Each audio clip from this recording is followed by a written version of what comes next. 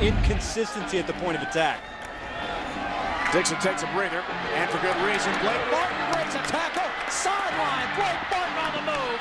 A cutback, and he's going to take it in for Louisiana Tech touchdown. 62 yards for the sophomore from Lucas, Texas. Palmer. Summer. The shot and a score. Great passing from the Golden Hurricane. And they come up with the first goal of the match. Zach Paul out to kick it is a 38-yard attempt that's blocked. A chance to run it back.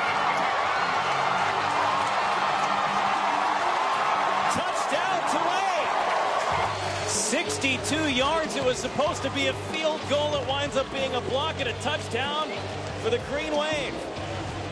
And it's Darion Monroe again. Nine taken off the clock. On first down, Kilgore with a deep ball. Looking for Marcus Henry, and it's intercepted at the 30.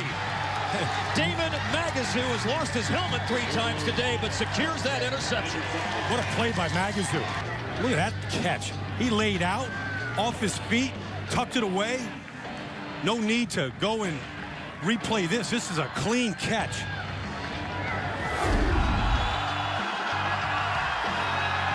McHargue.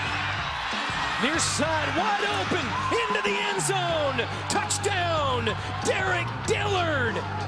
And Rice wins the game.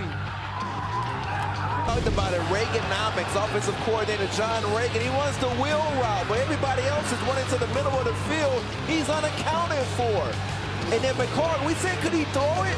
My right arm is golden when we need it. We were setting you up. And Dillard looking like his older brother, Jared.